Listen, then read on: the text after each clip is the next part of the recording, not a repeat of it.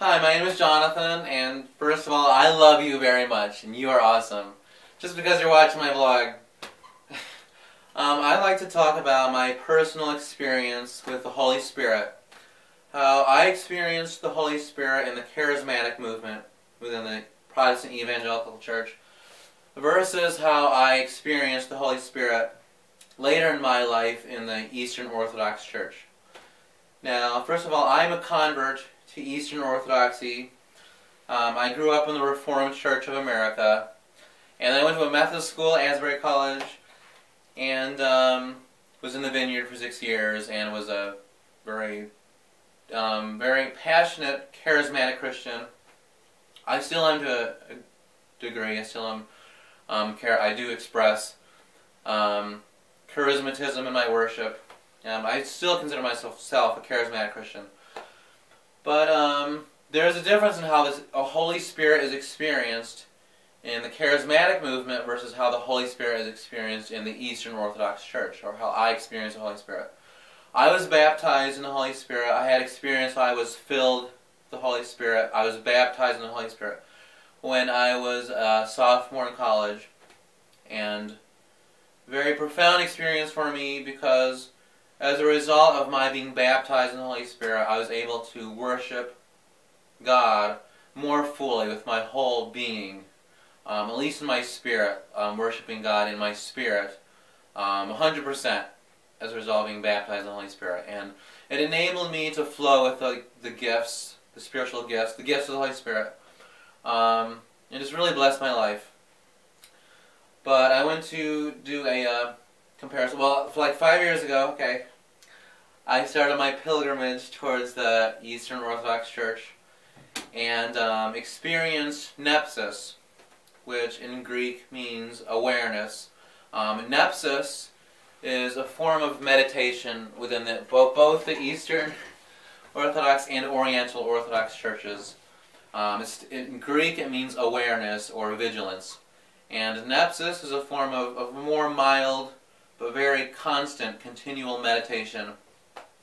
And I first experienced nepsis when I went to my first divine liturgy. I acquire nepsis first by going to divine liturgy. That's where I, I acquired nepsis, um, meditation. Acquiring the Holy Spirit, a different way of experiencing the Holy Spirit through nepsis, going to divine liturgy, and then when I was, when I was chrismated into Orthodox Church, um, experiencing nepsis through taking the Eucharist, um, taking the, the, the, very actual body and blood of Christ. Um, so,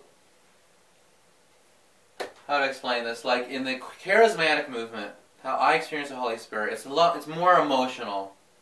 It's actually compared to how the Holy Spirit is experienced through nepsis. It's not a pure form of the Holy Spirit. It's very emotional. Um, but God is a very emotional person. I know God personally. And God is a very emotional person. So it's not completely bad. But there are, because in the charismatic movement the Holy Spirit is experienced, very emotional. It's not purely the Holy Spirit. A lot of it is my own flesh. Um, at least my experience. It's very emotional, so it goes up and down. You have up and down experiences where you're filled with the Holy Spirit, whether, like in my time of, like, before I became Eastern Orthodox, um, quiet time, my own reading the Bible and prayer time, um, just worshiping God, on, worshiping, being, worshiping God in the Spirit on my own. Um, just being filled with Holy Spirit. And then, like, going throughout the day, going while in work or school, having low moments of of my experiencing not being filled with the Holy Spirit. Like, so it goes up and down. Like in the charismatic movement, at least my experience, the Holy Spirit was it goes up and down. It goes in waves. So, like, go through dry spells. And, like, that's what a lot of evangelical Christians um, talk about in their own walk with God, having dry experiences, like desert experiences, their relationship with God, having dry spells, and then um, more fruitful times in their in their walk with God, of just being feeling close to God and having moments where they feel really close to God. So it goes up and down the charismatic movement. But first of all, when I became Eastern Orthodox Christian, when I experienced nepsis, the Holy Spirit experienced through nepsis, I stopped having dry spells. I no longer have desert experiences um, with my relationship with God. Because in Eastern Orthodoxy, the, experiencing the Holy Spirit is not up and down. It's very steady, constant, a little bit more mild, not so emotional, more constant, like crescendo, very gradually going up, so that the Holy Spirit never leaves me. Um, like Jesus Christ had promised that the, He would send the Holy Spirit, and the Holy Spirit would never leave you, would never leave the church. So, like Nepsis, experiencing the Holy Spirit in the within Eastern Orthodoxy is is constant and never fails. You never, um, I never stop experiencing the Holy Spirit, even when I'm asleep. Um, I did not experience that. At times, I experienced that when I was a charismatic Christian. But now that I'm Eastern Orthodox Christian, even when I'm sleeping, every night, every single night I'm sleeping, I'm filled with the Holy Spirit and experience the Holy Spirit even in my sleep. I experience the Holy Spirit throughout the day, no matter what I'm doing, whether it's my chores, whether it's working, everything I do, um, I'm filled with the Holy Spirit. Because the Holy Spirit is not is more than just emotional within experiencing the Holy Spirit through Nepsis. Holy Spirit is more holistic. It involves worshiping God in the Spirit with my entire body, worshiping God in the Spirit with my mind and with my whole, it's very holistic, with my entire self. So the Holy Spirit never leaves me. Um, I want to like drag this vlog on, but like uh, one significant difference between the charismatic movement within the Protestant Evangelical Church and um, the Holy Spirit experience through Eastern Orthodoxy is how you maintain your experience, your daily walk with the Holy Spirit. How I main, how I've acquired to maintain um, being filled with the Holy Spirit 24/7. A big aspect of it is um, related to different styles of worship. Within um, Eastern Orthodoxy, the liturgy, the divine liturgy, is itself a it's like a microcosm of the entire universe. The divine liturgy is a microcosm of the rest of my life, of everything I do the rest of my day, the rest of my week.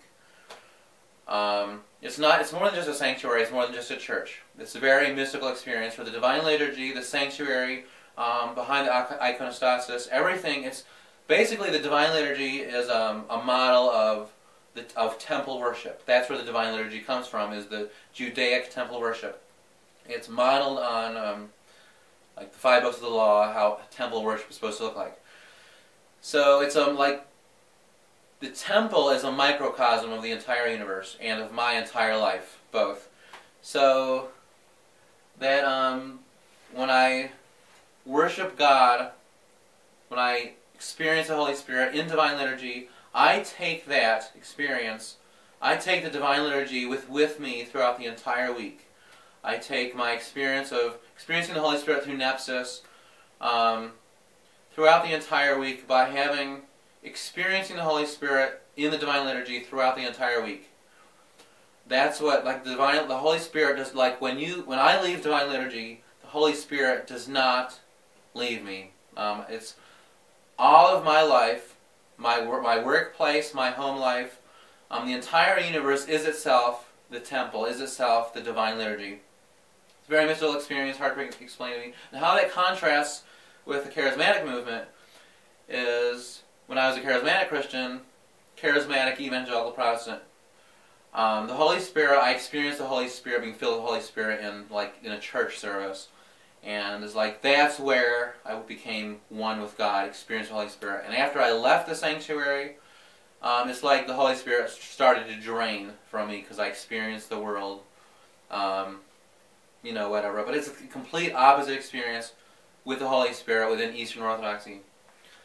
So, like, it's as if within charismatic movement and evangelical Protestantism, the Holy Spirit stays in the sanctuary, and you leave the sanctuary and you start to be drained with living the life. But it's the complete opposite.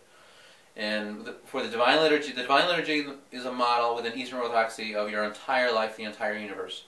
So you leave divine. I leave divine liturgy and still follow the Holy Spirit. Hard to explain, but that's. I should stop here because I'm, I'm dragging on here.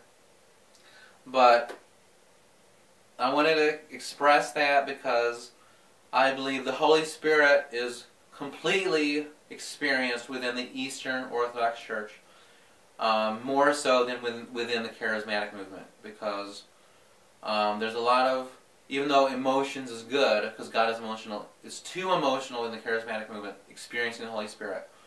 Um, and it's very um, dualistic, very uh, thinking you're better than other people, because being baptized with the Holy Spirit is not a second grace. There's no such thing as a second grace. There's only there's one baptism within Christianity. There's one grace. So there's not a separate experience where you're experiencing the Holy Spirit um, a second time. Like, uh, okay, I'll stop. Um, it's one grace.